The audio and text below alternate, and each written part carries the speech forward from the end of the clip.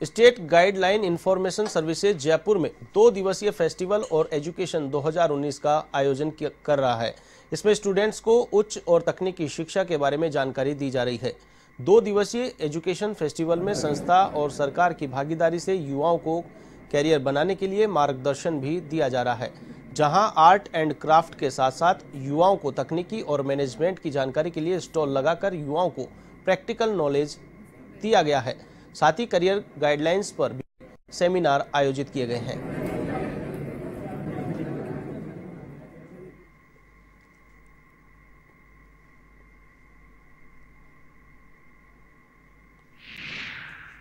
Art and craft paintings और इन सब पे भी हम लोगों ने अच्छा फोकस किया, जिसमें स्कल्पचर आर्ट है, बड़े आर्ट इंस्टॉलेशन भी हम लोगों ने यहाँ पे किए हैं, और कुछ एक हमारे गवर्नमेंट डिपार्टमेंट से भी कुछ टाइप्स हैं। आप जैसा कि आप देख रहे हैं कि N P C I L ने भी यहाँ पे न्यूक्लियर पावर कॉर्पोरेशन है Cairn India Vedanta Cairn India Vedanta है और N P C I L है तो इन लोगों ने भी काफ़ी अच्छा यहाँ पे अपना प्रोजेक्ट डिस्प्ले भी किया है। और काफ़ी हम स्कूलों में बच्चों को भी अभी स्कूल और टेक्निकल जो है लेवल तक हम बच्चों को यहाँ पे प्रोत्साहित कर रहे हैं।